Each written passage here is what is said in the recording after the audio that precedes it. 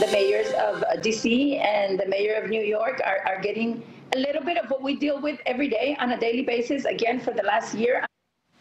All right, that's the mayor of Eagle Pass, Colorado, Yolanda Perales Ramon, earlier this month on the show talking about the massive influx of illegal immigrants in major cities like New York and D.C.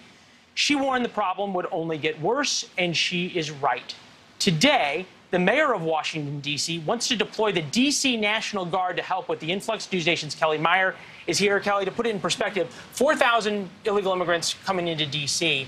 In Eagle Pass, they had 30,000, the population of the town last year. There's a lot of people who are saying, well, yeah, now you see what the problem is. That's right. And DC's mayor is saying she wrote this letter over a week ago and she's asking for help. She still hasn't received a response from the president. As you said, right now there are 4,000 migrants here and counting.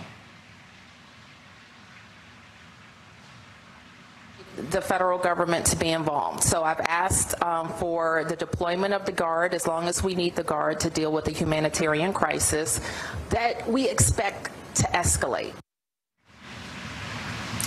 And they're using the DC Armory, you can see here, as a processing center. It's a 70,000 square foot uh, room that can hold about 10,000 people. And just for context, as you said, the mayor of Eagle Pass just said 13,000 migrants came to their town just last month.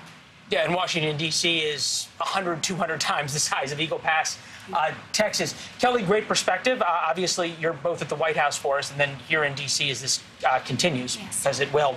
Uh, good to see you. Thank good you very much.